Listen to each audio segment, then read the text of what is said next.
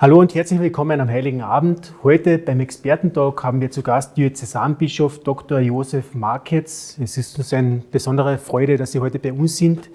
Ähm, Bischof Marketz war vorher, also bevor er zum Bischof geweiht wurde, Direktor der Caritas in Kärnten.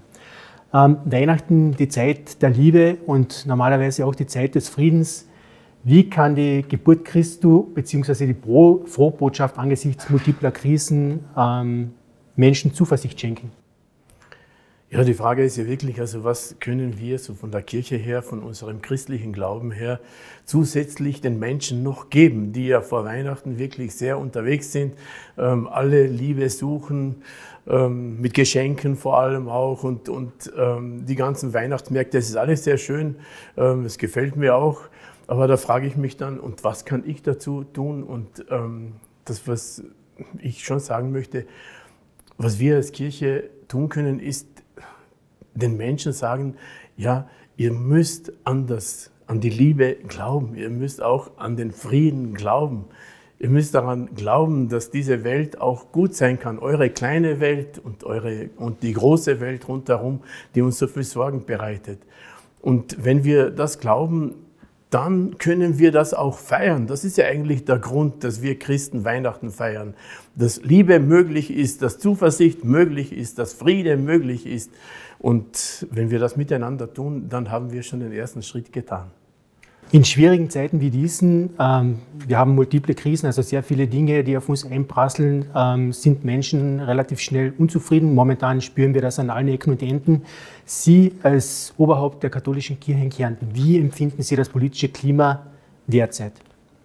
Ja, in Krisen ist es eigentlich so, dass wir zusammenhalten sollten und zusammenstehen sollten.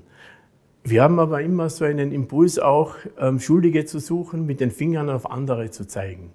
Und ich muss wirklich sagen, dass in Kärnten die politische Kultur und vor allem auch die Gesprächskultur, die ja so wichtig ist, dass die im Allgemeinen ich sehr gut befinde und dass ich sehr dankbar dafür ähm, bin. Den Verantwortlichen in politischen Parteien, auch bis hin zu den Bürgermeistern und anderen, ähm, dass sie ähm, dafür Sorge tragen. Kleine Kinder, oft auch Erwachsene, sind derzeit sehr aufgeregt wegen der Geschenke, die heute Abend vermutlich unter dem Christbaum liegen werden. Ähm, über welches Geschenk freut sich der Bischof von Kärnten?